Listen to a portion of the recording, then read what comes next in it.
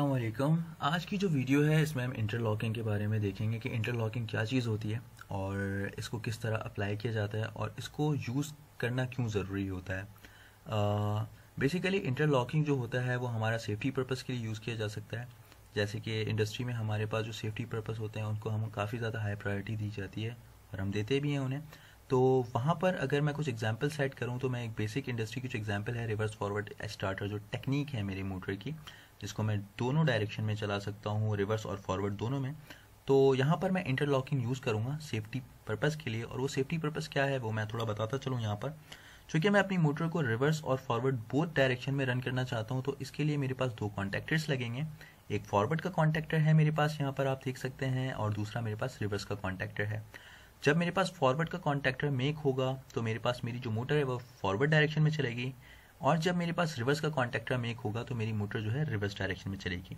लेकिन यहाँ पर इस बात का ख्याल रखना है कि मेरी दोनों कॉन्टैक्टर्स जो हैं, वो साइमल्टेनियसली जो है एनर्जाइज ना हो जाए साइमल्टेनियसली मेक ना हो जाए। अगर ऐसा होगा तो मेरे पास कोई मोटर फेलियर हो सकता है, कोई ऐसा शॉर्ट सर्किट अगर हो जाएगा, या कोई भी मिसहैप हो सकता है। तो इस मिसहैप और इस फॉल्टी कंडीशन से बचने के लिए मैं यहाँ पर इंटरलॉकिंग करूँगा। कि मेरे पास दोनों कॉन्टैक्टर एक साथ ऑन ना हो। तो आइए देखते हैं इसका प्रोग्राम किस तरह हम बना सकते हैं। तो मैं डब्ल्यू पी एल सॉफ्टवेयर में जा चुका हूँ और यहाँ पर जो है मैं इंटरलॉकिंग यूज़ करता हूँ। इंटरलॉकिंग ई एक्स टू मेरे पास मेरा मॉडल है सी पी का। यहाँ पर जैसे लास्ट टाइम मैंने आपको बताया था कि यहाँ पर कुछ कॉन्टैक्ट्स हैं हमारे पास normally open normally close output की क्वाइल है, फिर एपीआई एप्लीकेशन इंस्ट्रक्शंस है। लेकिन आज जो है मैं यहाँ पर आपको इंस्ट्रक्शंस बताता हूँ एनओ की जो मेरे पास इंस्ट्रक्शन है, वो एलडी है। एलडी के बाद मैं स्पेस देकर एक्स ज़ीरो लिखता हूँ तो मेरे पास एक्स ज़ीरो का एनो कॉन्टैक्ट आ जाएगा।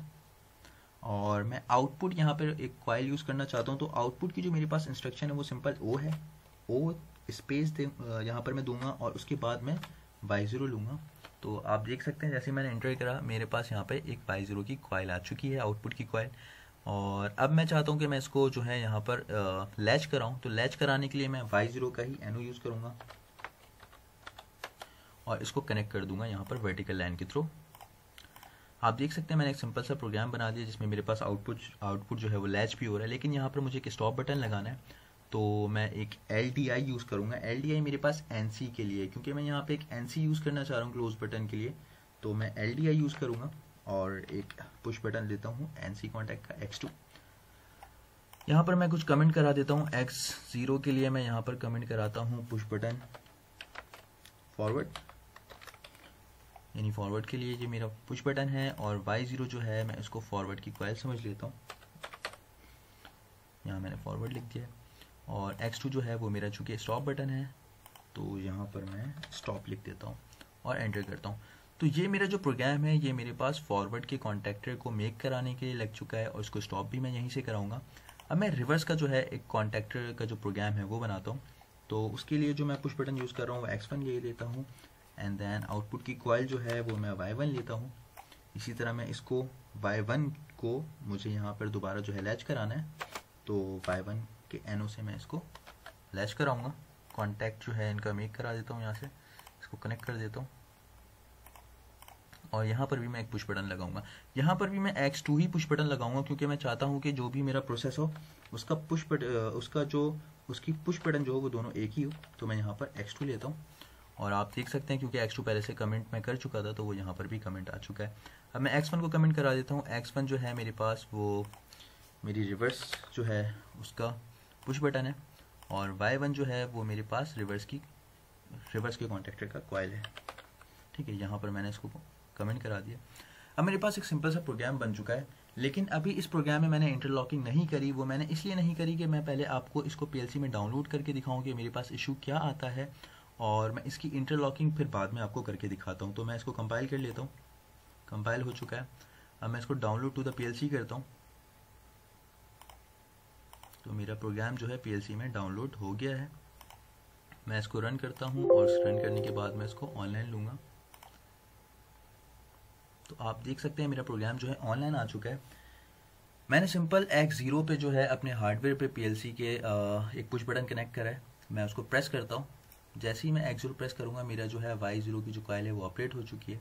अब मैं एक्स ज़ीरो रिलीज़ करूँगा तो मेरा वाई ज़ीरो जो है, चूँकि वाई ज़ीरो के एनो कॉन्टैक्ट से लैच हो चुका है तो एनर्जाइज ये हुआ हुआ है। ये कब तक एनर्जाइज रहेगा? जब तक मैं स्टॉप बटन को प्रेस नहीं करूँगा। अब क्या होता है, मेरे पास मेरी मोटर जो है फॉरवर्ड में रन कर रही है। अब मैं चाहता हूँ कि मैं एक्स वन को प्रेस करूँ तो मैं यहाँ पर जो मैंने एक्स वन पे रिवर्स के लिए जो पुश बटन लगाया, मैं उसको अगर प्रेस करता हूँ तो यहाँ पर मेरे पास वाई वन भी ऑपरेट हो चुका है। यानी दोनों कॉन्टेक्टर एक साथ जो है आपके यहाँ पर मेक हो चुके हैं। जैसे मैंने आपको यहाँ बताया था, अगर ये दोनों कॉन्टेक्टर जो मैंने वाई ज़ीरो और वाई वन यूज़ किया है, ये दोनों अगर एक साथ मेक हो गए तो मेरी मोटर जो है यहाँ पर शॉर्ट सर्किट अगर हो जाएगी। तो इससे बचने के लिए अब मुझे यहाँ पे इंटरलॉकिंग करनी है। अच्छा यहाँ पे मैंने स्टॉप का बटन लगा दिया है X2 पे तो अब इस प्रोसेस को स्टॉप करने के लिए मैं X2 प्रेस करूँगा तो मेरा प्रोसेस जो है ऑफ़ हो चुका है। अब मैं आए यहाँ पर आपको इसकी इंटरलॉकिंग करके दिखाता हूँ। तो इंटरलॉकिंग करने के लिए मुझे क्या करना है? देखिए वाई ज़ीरो जब जब ऑन होगा, उस वक्त तक मुझे वाई वन को ऑन नहीं कराना। तो मैं क्या करूँगा, यहाँ पर वाई वन के लिए वाई ज़ीरो का एन सी यूज़ करूँगा। L D I Y zero enter यहाँ पर भी जब जब मेरा वाई ज़ीरो चल ऑन हो तो मेरा वाई वन ऑन नहीं होगा तो इसलिए मैं यहाँ पर L D I Y one use करता हूँ। अब इस प्रोग्राम को देखते हैं, दोबारा हम इसको कंपाइल करते हैं और डाउनलोड टू द पीएलसी करते हैं।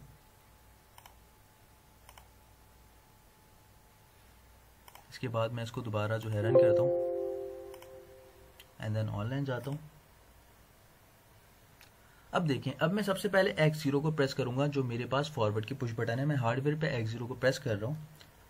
तो हो क्या रहा है? मेरे पास ये लैच हो चुका है और मेरी जो मोटर है, वो फॉरवर्ड डायरेक्शन में रन कर रही है। मीन आप देखें, अभी मेरे पास रिवर्स का जो इसकी जो कॉयल है रिवर्स के कॉन्टेक्टर की, वो ऑफ़ है।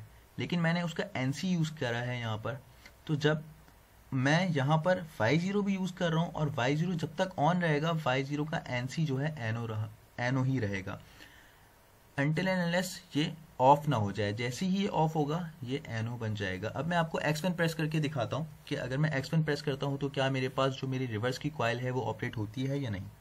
तो देखिए, मैं एक्स वन प्रेस कर रहा हूँ तो मेरे पास जो है वाई वन ऑपरेट नहीं हो रही। उसकी वजह यह है कि जब मैं एक्स वन प्रेस कर रहा हूँ तो ये जो मेरे पास वोल्टेजेस जो है, वो यहाँ से यहाँ तक तो आ रहे हैं, लेकिन चूँकि ये एनो हुआ हुआ है, अभी ये ग्रीन नहीं है, इसलिए ये यहाँ से आगे नहीं जा पा रहे हैं। जिसकी वजह से मेरे पास वाई वन जो है एनर्जाइज नहीं हो पा रहा।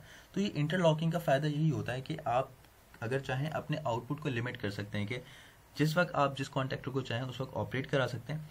तो अब मुझे एक्स वन प्रेस करने पे रिवर्स डायरेक्शन पे मेरी मोटर कब चलेगी? जब मैं स्टॉप मोड से इसको फॉरवर्ड को डिसेबल ना कर दूँगा। तो इसको डिसेबल करने के लिए यहाँ पर जो मैंने एक्स टू का बटन लगाया, मुझे इसको प्रेस करना पड़ेगा। मैं एक्स टू प्रेस करता हूँ, मेरे पास आउटपुट ऑफ़ हो चुका है। अब मैं अपनी मोटर को रिवर्स डायरेक्शन में रन कर सकता हूँ तो उसके लिए मैं एक्स को प्रेस करता हूँ। एक्स प्रेस किया, मेरी मोटर रिवर्स में स्टार्ट हो चुकी है। अब सेम मैं अगर एक्स ज़ीरो को प्रेस करना चाहता हूँ कि मेरे पास मेरी मोटर फॉरवर्ड डायरेक्शन में रन हो तो ये फॉरवर्ड डायरेक्शन में रन नहीं होगी। क्यों नहीं रन होगी? इसकी वजह है क्योंकि मेरे पास यहाँ पे रिवर्स की जो वाई वन है, ये ऑन है। तो जब तक ये ऑन रहेगा, इसका जो एन सी था वो एन रहेगा। तो इसको मैं स्टॉप करता हूँ दोबारा। आई होप कि आपको इसका फिनोमिना जो है, इसकी एप्लीकेशन जो है रिवर्स फॉरवर्ड जो हमारी टेक्निक है, इसमें किस तरह मैं इसमें इंटरलॉकिंग करता हूँ वो समझ आ चुका है आपको। बहुत सी एग्ज़ाम्पल हो सकती हैं, यहाँ पर जो है मैंने सिंपल रिवर्स फॉरवर्ड यूज़ किया है। आप शटर भी यूज़ कर सकते हैं कि आप शटर के ओपन और क्लोज के लिए दोनों दो मोटर्स या फिर आप एक मोटर से उसको रिवर्स फॉरवर्ड ऑपरेट करा के शटर ओपन क्लोज कर सकते हैं। इस तरह कन्वेयर्स में भी आपके पास एग्जाम्पल्स हैं। तो बहुत सी एग्जाम्पल्स हैं, लेकिन आपको जो है प्रोग्राम बनाना और टेक्निक्स जैसे कि अभी हमने यहाँ टेक्निक यूज़ करी इंटरलॉकिंग की। टेक्निक्स अगर आपको पता होंगी तो आप इंडस्ट्री के किसी भी एप्लीकेशन का प्रोग्राम जो है बसानी बना सकते हैं। तो थैंक यू होपफुली आप लोगों को मेरी वीडियो पसंद आई होगी इन्फॉर्मेटिव रही। आप लोगों के लिए। इनशाला मैं आगे की वीडियोस में टाइमर्स काउंटर आर जो है मेरे पास रियल टाइम क्लॉक्स इन सब पर भी वीडियोस बनाऊँगा। तो मेरे चैनल को सब्सक्राइब करिए और इनशाला आने वाली वीडियो का जो है वेट करें। Thank you